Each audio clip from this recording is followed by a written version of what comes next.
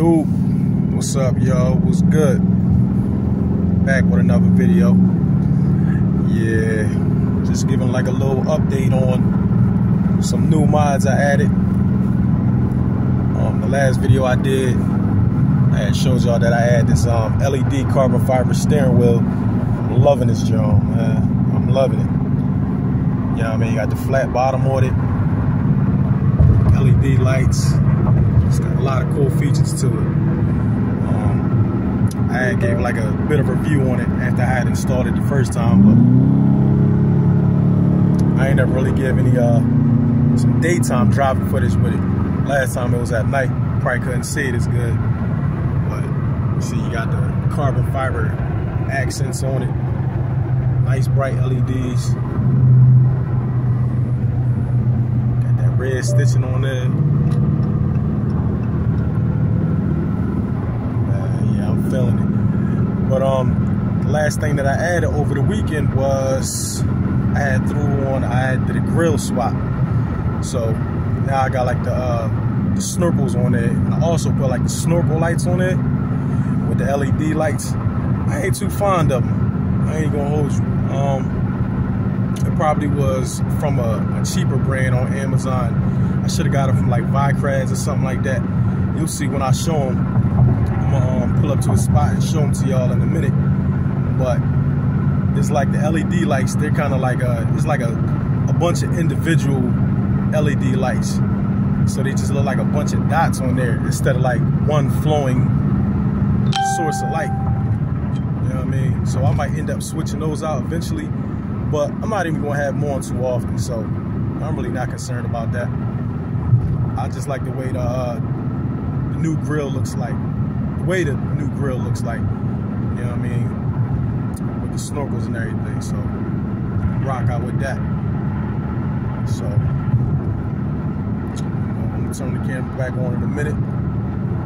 Let y'all see what that look like. Alright. I'm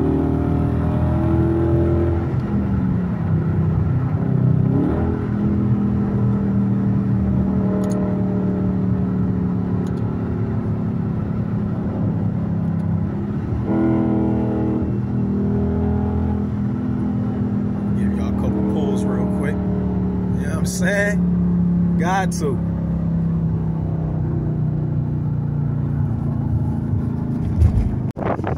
Alright, so we just pulled up to a little chill spot. A little cool car wash up around the way. Pardon the wind. I know it's probably windy as hell out here.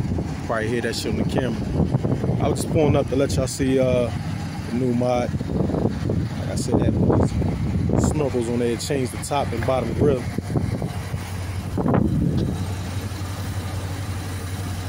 Shout out to Broski, you know what I mean? They grabbed it for me, you know what I'm saying, for uh for my birthday, you know what I'm saying? I was actually thinking about doing this when I first um got the car. Cause I always liked the way the um I think what was it, like the scat packs or something like that came out in 19. Even though this is a RT, you know what I mean? They had them snorkel grills on it. Then when they came out with these, I was like, yeah, I fuck with that. But for the simple fact that you had to take the entire front bumper off, I wasn't gonna fuck with it. But, you know what I mean? I'm glad I did now.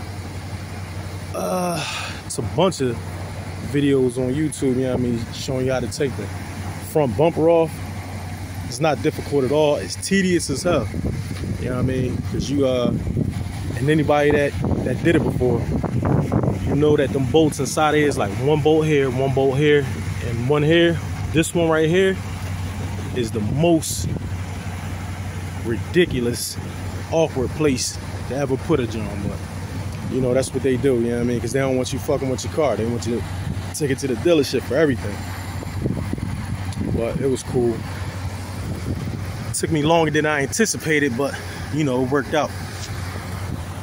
So, like I said in the previous video, I got the snorkel lights on there and I like it because you can't really tell that they are lights. Just look like the, you know what I mean, like the default snorkels. So I wired it up. The way I wired it up, I put like a um, remote module onto it so I can um, turn them on when I want. That way, um, I don't have to, I didn't hardwire them up to the headlights and the side markers. So, you know, I can just get that look whenever I want. Turn on, turn off. It's got like a um, option where you can like make the lights fast and slow and everything, but I'm never gonna use that. So that's what they would look like if they had like concern signals on there. So, you know, but I'm just gonna keep it on the on option when I do use them. And if you look up close, like I said, it's like a bunch of small, see how just like small individual LED lights instead of one solid light. That's the thing I don't like. From a distance, you probably can't tell too much, but up close, you definitely can. But it's cool though.